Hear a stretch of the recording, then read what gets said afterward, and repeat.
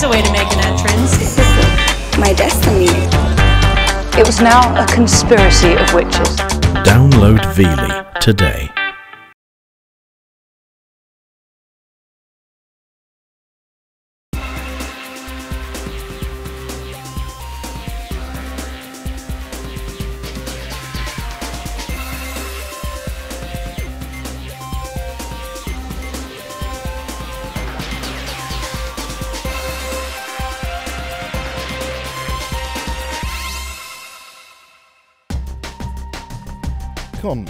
Most devious of all criminals. Charming, cool, and calculating, they betray trust and devastate lives, yet remain a complete enigma. We are about to explore the mysterious world of these master criminals, giving an unprecedented insight into the workings of the complex minds of some of the world's most cunning con men and women. We will reveal the detail and the intricacies of their elaborate crimes and uncover how they were dramatically brought to justice. In this show, the story of the heartless criminal the press called the Casanova con man, who would seduce women online, whisper words of love, and leave them in thousands and thousands of pounds of debt. What can I say? Nick Gage, what a hound.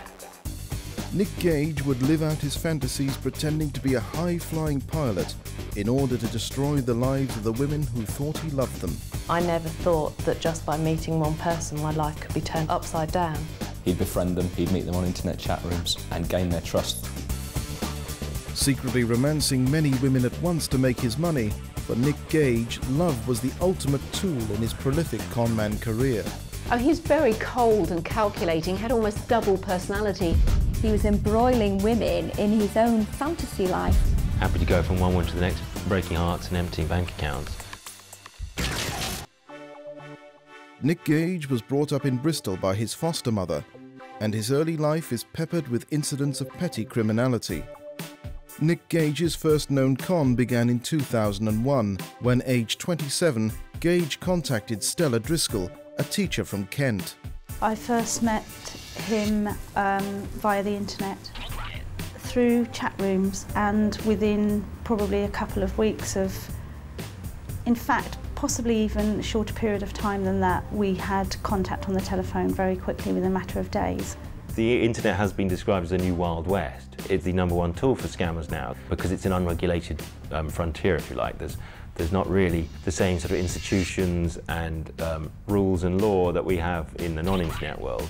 Here was an opportunity for Nick Gage to contact women who he knew were interested in having relationships and basically mould himself into whoever he and they wanted him to be.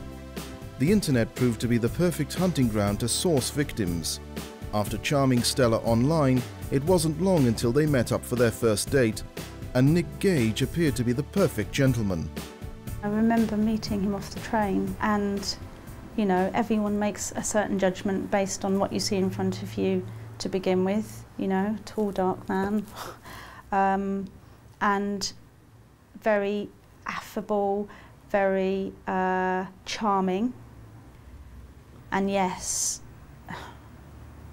he, he was a rom yeah, he was romantic, he was sweet talking, he was, without meaning to be cliched, I suppose in many ways what you would classify as a, you know, perfect kind of man, if you like. He had the, the suits, the looks, uh, to make people think that, you know, this was a successful aviation pilot in some senses who was, you know, a, a credible and genuine guy. Nick Gage always presented himself to his many victims as a professional who worked in the aviation industry. With Stella, he was the former pilot who still worked with aeroplanes and airports. There was a plausible reason that he put forward whether he was no longer a pilot and now worked for the Air Accident Investigation Bureau, but all within that same field. I think the aviation theme was maybe used to attract females, basically. He probably saw it as something that yeah, young ladies thought, oh, well, that's, that's quite impressive. He's a pilot or, or something like that. So I think that he probably wanted to be a pilot. You know, he went out and he got himself the uniform, but he was not that person in reality. But the utterly fictitious career Nick Gage would present to his victims not only fulfilled his own obsessive fascination with aviation, it also meant he could manipulate and con multiple victims at once. Well, Gage's interest in uh, aviation was really quite convenient for him because it also gave him a great excuse, didn't it, for being away for long periods of time. So it enabled him to juggle several different women at the same time. And the con worked. Soon after beginning his fraudulent fairy tale romance, Nick Gage rented a flat with Stella in Kent. The decision to move in uh, with me was pretty much a mutual decision. Um, um, I was swept along with the novelty and the excitement and the and the feeling of of being wanted, I suppose, um, and was willing to do that, to take those steps as, as quickly as it progressed. The first three months were smooth running, exciting, um, and and it was what I suppose you would term as a yeah a whirlwind romance in that way. Coming up, Stella's happy ever after with Nick Gage becomes a hell on earth that drives her to thoughts of suicide. I remember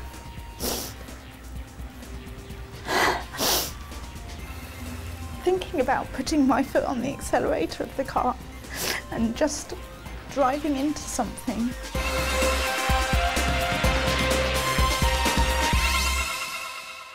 Nick Gage was dubbed the Casanova conman for his exploits.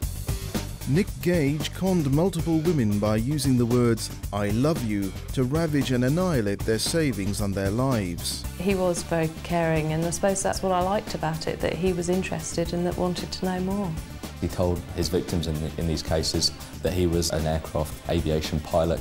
He basically used his wiles to manipulate women and fleece them for all they were worth. In 2001, Gage had moved in with his first known victim, Stella Driscoll.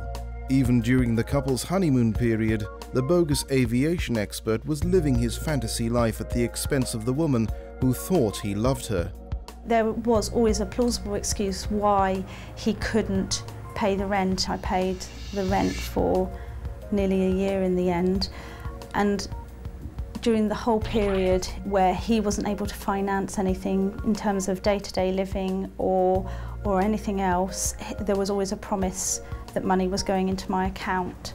Um, but it culminated around the third or fourth month with um, my finances escalating so badly out of control. I actually remember the landlord coming to the flat on one occasion and there I was again potentially with my checkbook almost feeling coerced to write yet another rent check out and looking at him as if to say, you know, if I do this, my finances are out of control as it is, then, you know, this is just, this is once another step just too far. Um, but him standing there, I think at the time, reassuring me that it would be fine and that within a matter of days, the money would be in my account and as uncomfortable and as stressed as I remember feeling at the thought of writing that check out, which I did, um, you know, I, I, did, I did write the check out, but, you know, I was hanging on to the, to the thread of hope and, and belief even then that he, the money would be going in my account within literally a matter of days. I mean, there were a whole number of other things that happened, including forging documents such as bank statements that would state that he had so much money in his account, although at the time I didn't realise they were fraudulent and very authentically drawn up and would have taken a lot of energy on his part to ensure that they were as authentic as he could possibly make them. Um, but now realise that that's exactly what he spent his energy and time doing. Gage also forged letters from the NHS saying he was not well enough to work, and that his cash flow was affected because his work sickness benefit had not yet come through. And when Stella, who was in reality fully funding Gage's lifestyle, started asking questions and voicing her concerns, her conman lover proved adept at emotional blackmail. I did confront him, and actually, what I recall is his reaction was to turn that completely around and to make me feel as though I'd suggested something that was appalling. If you love someone and, and you know you think you, you, you're emotionally involved that I could possibly suggest anything. And so I was forced to to to hold on to the belief that and never you know uh, to the belief that what he was saying was true and that he was just having a tough time getting this money that he had, um, I believe, from a previous employer that was he was still waiting to come through. Now, clearly, this man is a good con artist. They tend to be master emotional manipulators. They're very good at turning things, flipping them completely on their heads. He would say, Well, don't you love me? You know, why are you accusing me of this? Why are you doubting me? Suddenly, he becomes the victim. So, a very clever ruse, a very clever way of using the emotional tie that the women had with him for his own profit, for his own gain, and just slithering out of those difficult questions. I had various companies uh, and so on kind of issuing threats and, and you know in one or two cases bailiffs so I was dealing with with every everything defaulted absolutely everything just just just spiraled out of control and, and defaulted. And I actually wasn't able to deal with that I remember making a phone call into to my workplace to say I could not come in the next day. I was by this time starting to become quite an emotional uh, wreck. I didn't share any initial suspicions with anyone else because you don't like to think that you don't think it's possible that somebody would go to great lengths to to manipulate you to the point of to the to the degree that I was manipulated. But Stella's finances were hemorrhaging. Not only had her savings been eaten up, but she was now sinking further and further into debt. Reaching a point of desperation, and with still no sign of the money her lover had promised, an emotionally fraught Stella finally revealed to a close friend the desperate financial cycle she found herself in. And the friend turned detective. This one particular friend ascertained that the premise on which this man had come into my life as somebody who worked as a pilot or, or as an air accident investigator was in fact not who he said he was and then discovered that actually he was um, totally fraudulent in, in every way. Once everything was revealed, um, to be honest, part of the reaction from me was an alleviation of of of emotional strain and pressure because I was in a state of confusion as to what was going on and why this money wasn't going through and couldn't understand it because for a long time I held on to the fact that, every, that the, what he'd said he'd done was sincere and that those actions had been taken. So, you know, when the, the days and the weeks rolled on and still money wasn't going into my account to address my, my, my finances, which were spiralling out of control, the, the stress of bearing that was just immense um, to a point of, of um, envisaging putting yourself in a scenario that, let's say, people do envisage when you feel that desperate. Um, I remember, I remember considering putting my um, foot on the accelerator.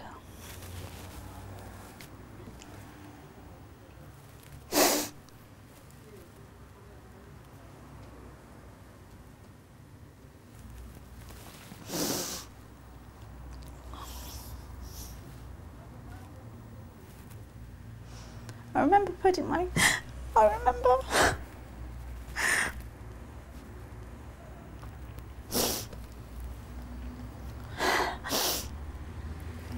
thinking about putting my foot on the accelerator of the car and just driving into something um, because of my feeling of utter desperation.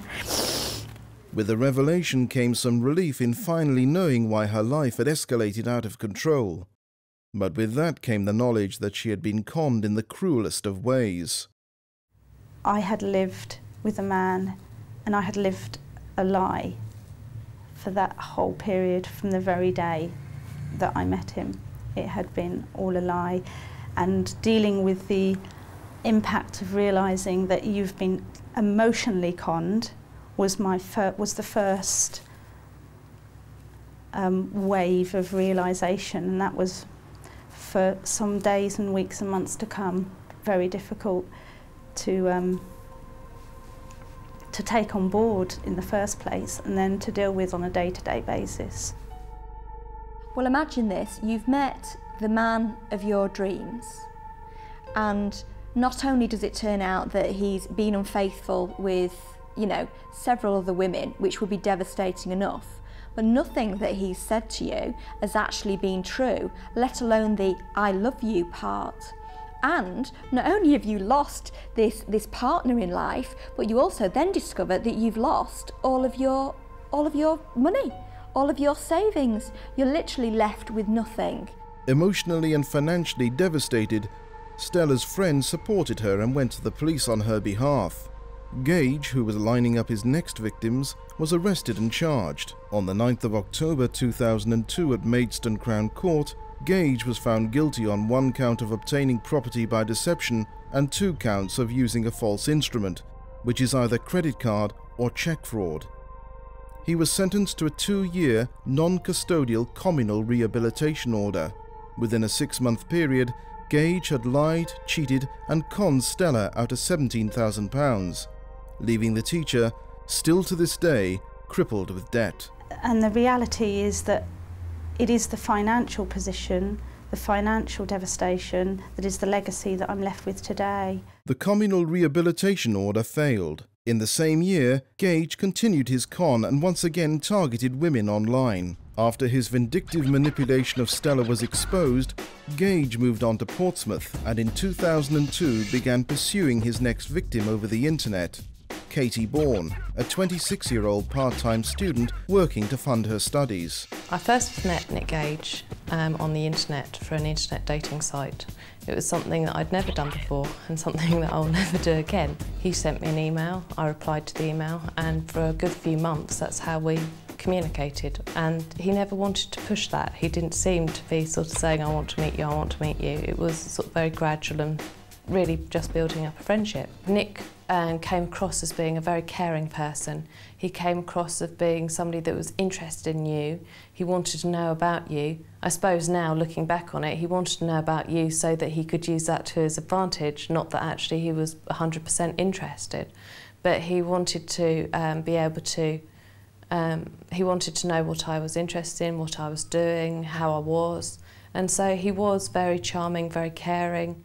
If you meet somebody in a bar, for example, then there's lots of social cues that tell you a little bit about that person.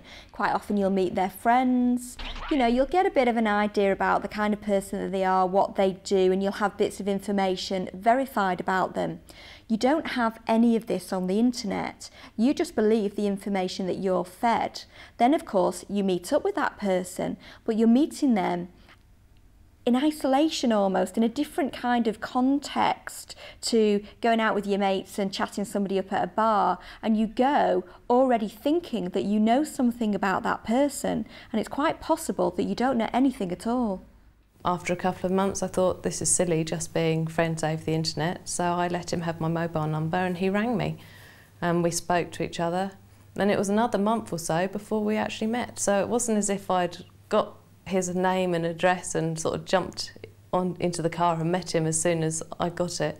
I'd been really careful and I'd been really, um, really cautious about making sure that he was an okay person before meeting him. Caution was not enough to save Katie from Gage's trap. He already had other women funding his lifestyle and so could play the patient, perfect would-be lover with his next target.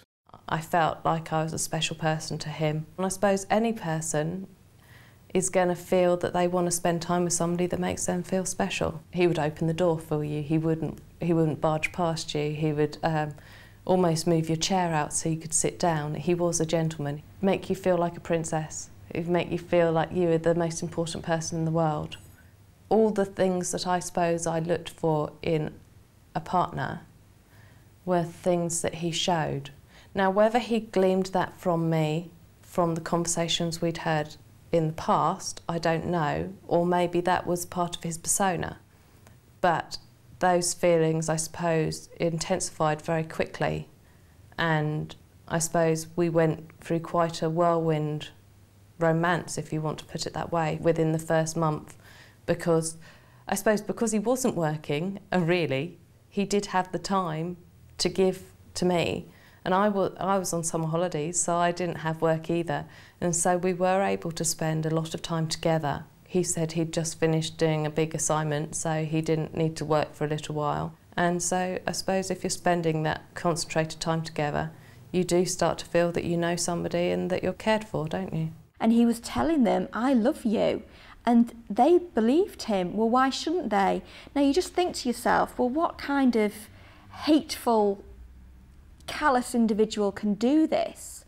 I think that Gage was actually quite involved in his own fantasy here.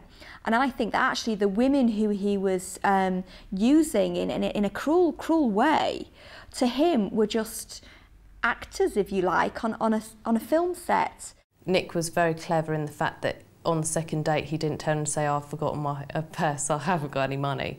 He, he always had some money on him and he was very generous to start off with, buying drinks and things. But as I said, I was quite, um, quite strong-willed in the fact that if he bought a drink, I insisted on buying the next drink. I wasn't going to be paid for. But he was very generous. He'd turn up and say, I've got you a little present and he'd bring out a teddy bear or he'd bring out a necklace and things like that. So just little things. Once he gained their trust, um, and they and you know they certainly did trust him, and he was a credible uh, man. Once that happened, he, he used that position to to really go behind their backs and, and plunder their accounts and plunder their assets and, and use them for his own selfish motives. Coming up, Gage not only cons and leaves Katie in £20,000 worth of debt, but he also frames her in his crimes. You've been receiving the money that he's been obtaining fraudulently. And I looked at her and said, you're joking, I've not done anything like that. She said, I thought you might say that.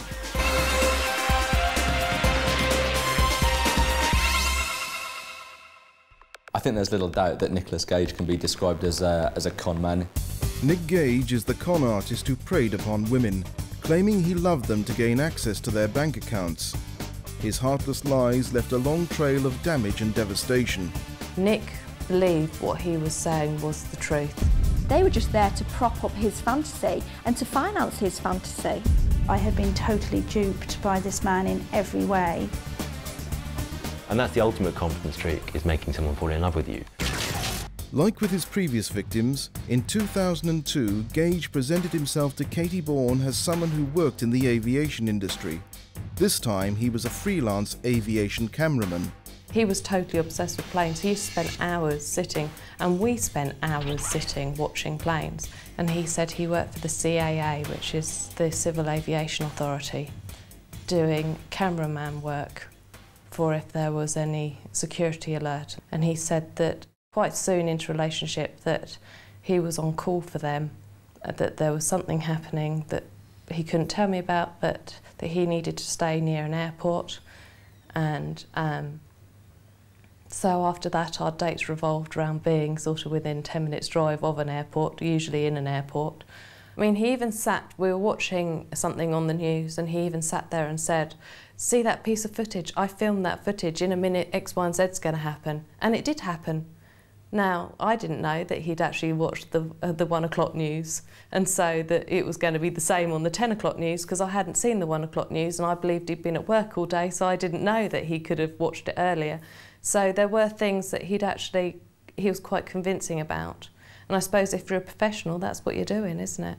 And echoing his previous cons, once the relationship was established, Gage soon began asking Katie for money. After the first few weeks, month, he said that he'd lost his wallet, that he couldn't find his cash, credit cards and things, and would I lend him some money to start off with, um, because he couldn't find his wallet and that he'd reported it to the police and he'd had to cancel all his cards. Um, so I lent him some money. Um, it wasn't very much. I didn't have very much to lend him. Um, but the odd sort of £10 went his way and over a matter of time um, that just increased. He never usually came up to you and said, I need £100 and give it to me.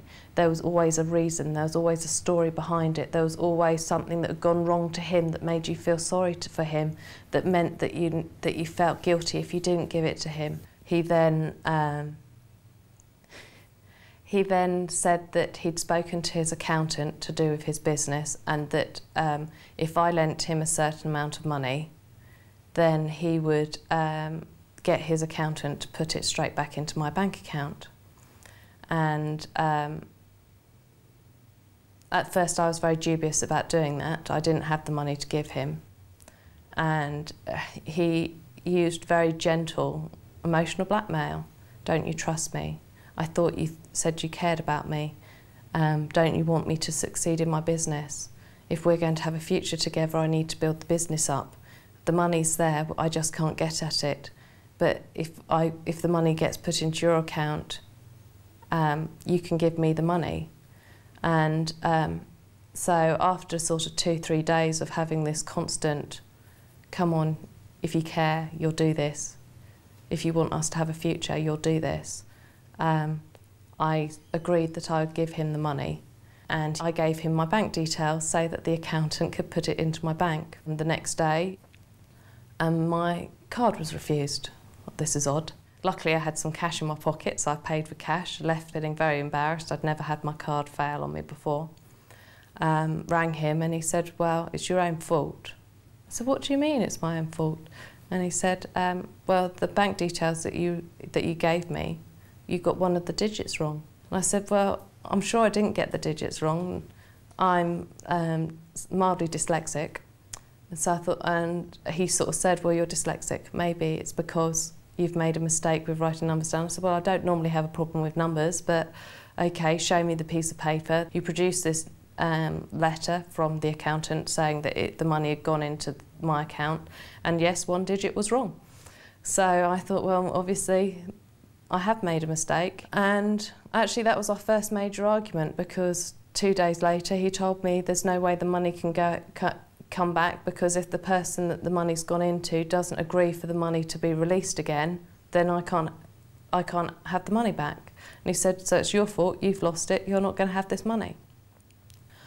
And um, I felt really, really bad about it and then felt really, really stupid. And he made me feel really stupid and basically said, it's your own bloody fault. If you'd not um, done it, then hadn't got it wrong, then you'd have the money and we'd both be okay.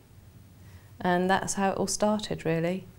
Um, and then a bit later on, he sort of said, that money, I've still got no money because you've lost it.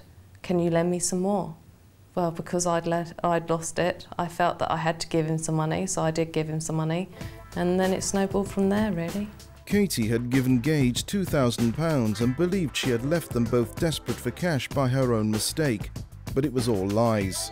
There was no accountant, no money, and no mistake. But the lies had worked. Gage now had Katie exactly where he wanted her the tactics that Gage used when women were getting a little bit uh, bit disconcerted that this money that they were expecting from him just never seemed to materialise are very similar to tactics used by men who are in relationships which are characterised by domestic violence. He managed to flip their concerns on their head and say to them, well, are you doubting me? You know, why are you doing this to me? Suddenly he became the victim. So he was very, very adept at using women's love for him, really, and using the emotional tie that they had to, to turn things around and to, to profit from that. Nick was very good at using emotional blackmail. Nick was very good at making you feel guilty. He would be very good at turning the tables round so that you felt that the reason he was in a bad way was because of you, not because of him. But on the other side, he would make you feel like a princess on other days, make you feel special, make you feel like um, that he really did care, that, that he was so, he cared so much for you that he would do anything for you. And he'd do little things that made you feel so special. And I suppose that's what kept you with him, because on one day he'd be this wonderful, the perfect example of, an, uh, of, a, um, of a partner, but the next day he would be um, gradually or slowly eating away at you with sort of guilt trips or making you feel very um, self-conscious about yourself.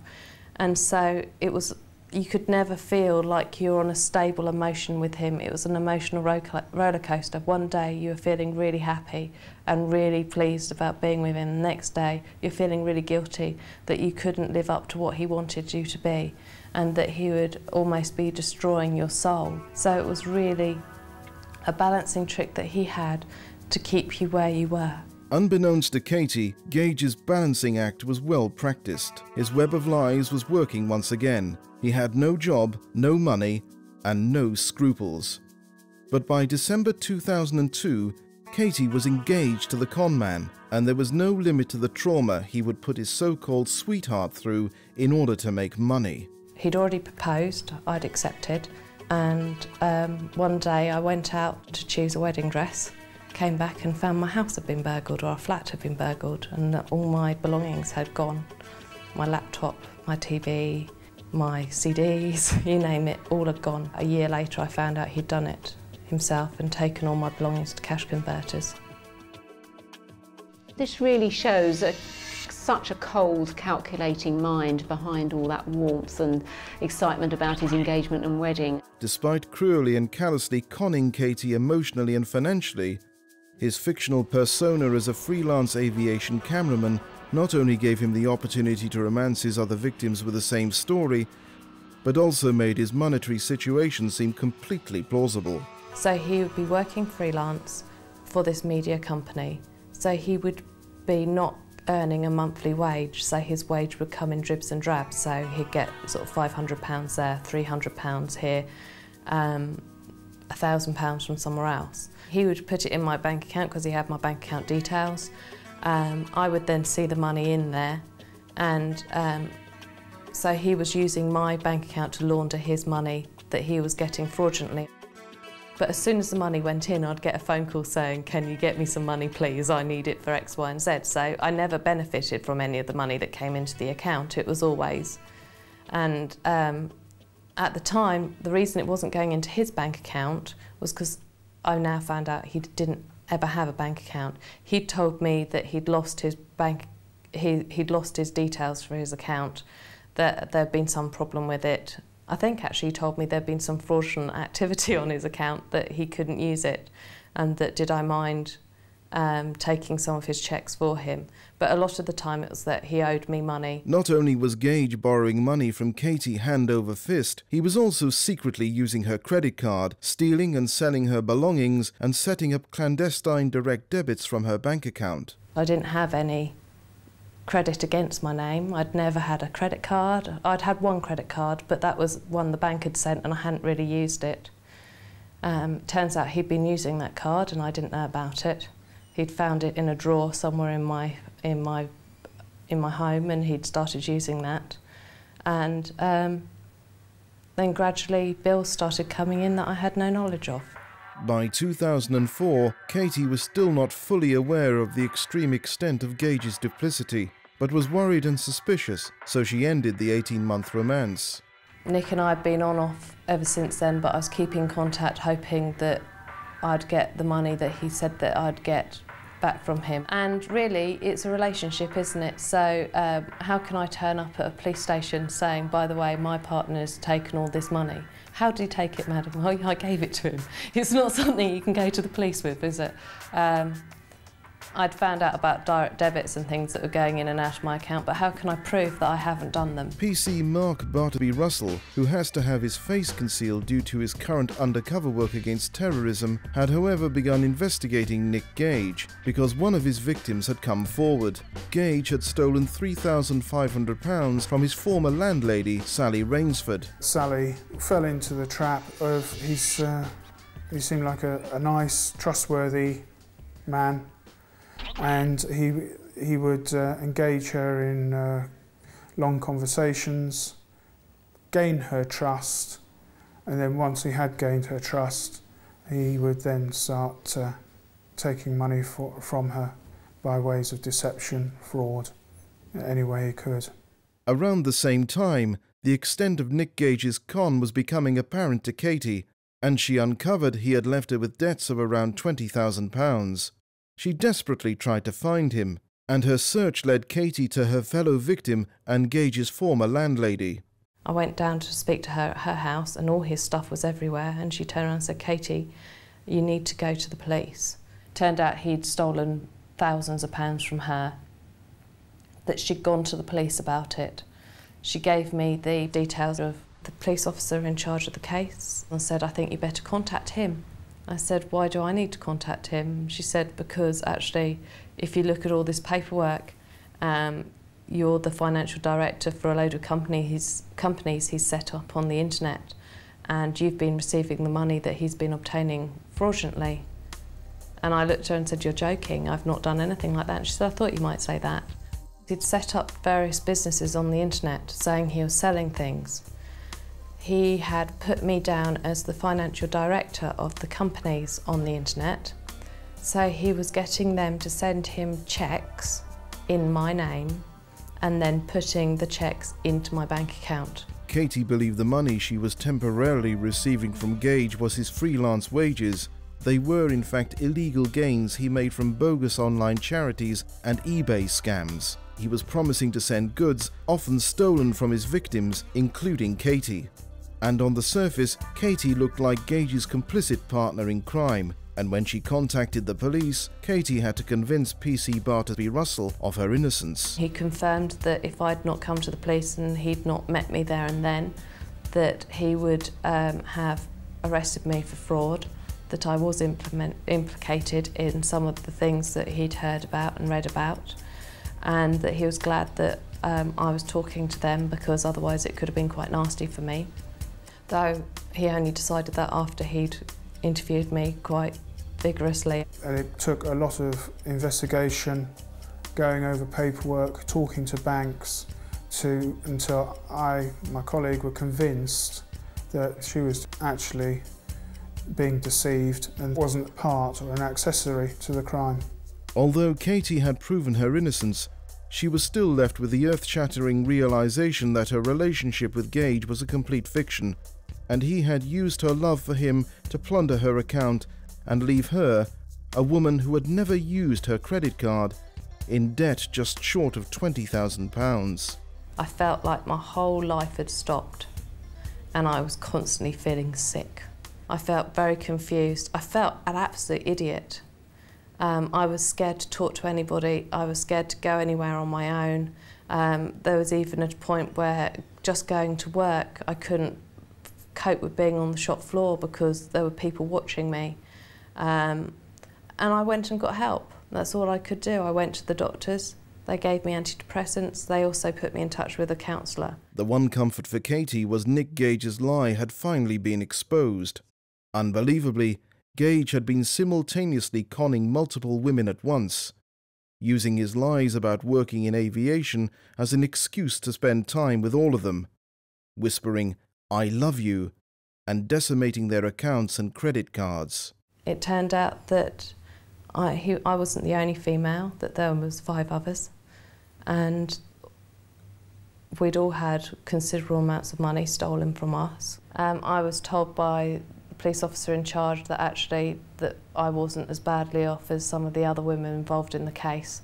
In some ways, I thought it was just one big joke. How could somebody have five fiancés at the same time? Coming up, Gage is finally brought to justice, but even then cruelly has the last laugh. I was left with a picture of Nick leaving the courtroom and he just turned around at me and smirked.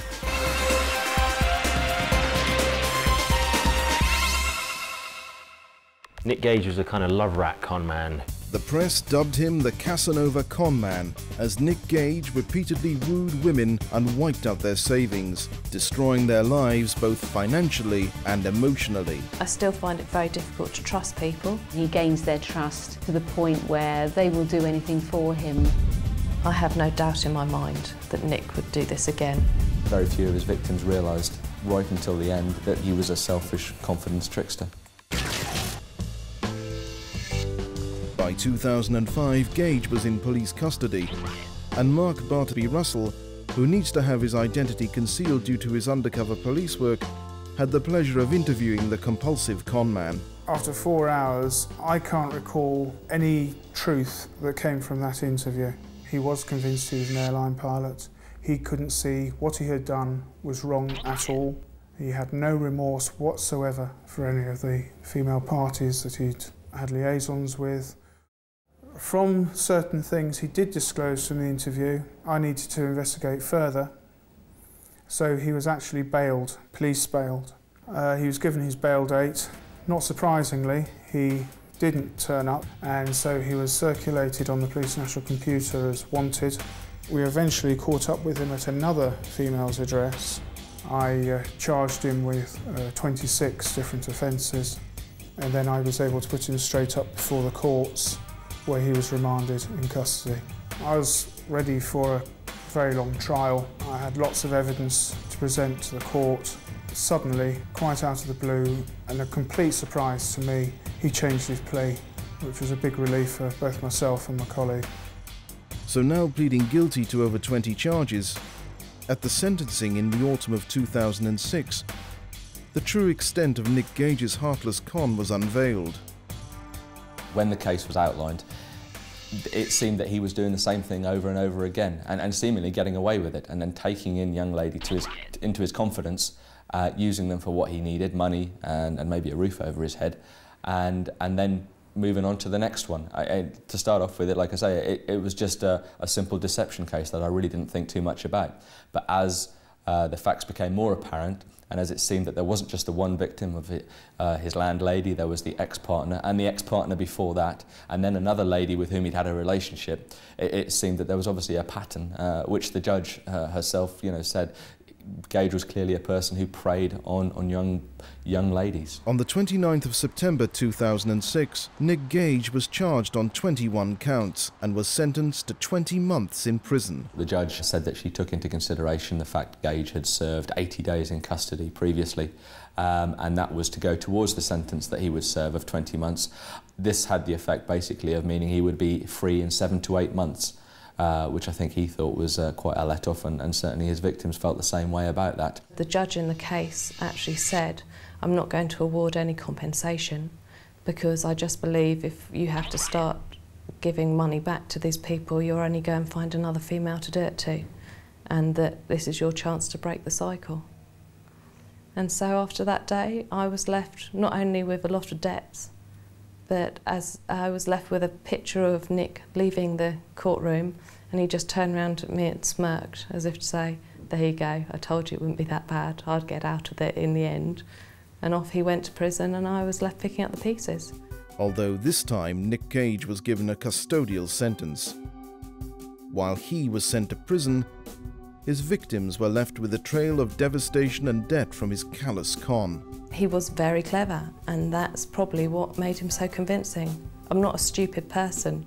But love is the biggest con of them all, isn't it? And I think that uh, Nick was certainly savvy to this, and he took it just that stage further than most ever would. Although conned emotionally and financially, Gage's victims have with time learned to live and to love again. Trusting people is very difficult, but you can't tar everybody with the same brush. And so I am in a relationship now and it is going well. But um, my partner now has had to tread carefully, like saying to me, I'll buy you X, Y and Z. I don't like that because I feel that Nick used to do that and it turned out he was using my credit card to do it. I'm in a relationship at the moment which is fantastic, which is very strong. And, um, and, and so emotionally, I feel that I've moved a long, long way. Um, but the real legacy that's left is still the financial destruction that was caused. So the financial legacy is still left for me to deal with seven years on. I still pay £250 a month off on his debts and I'll be paying that till 2009. I still won't be able to get a proper mortgage till at least five, six years after that because my credit rating won't start improving till those debts are finished. Every decision I make is affected by what's happened in the past. So every day there is something that comes up that reminds me of what's happened. He's a habitual criminal, he's a career criminal. I believe there are other women out there now who are going through exactly the same thing with Nicholas Gage now that he's been released, he served his time in prison. He hasn't reformed as far as I believe. Nick is a wonderful bully. He knows exactly how to work people. His people skills are second to none. He knows how to wrap people around his finger.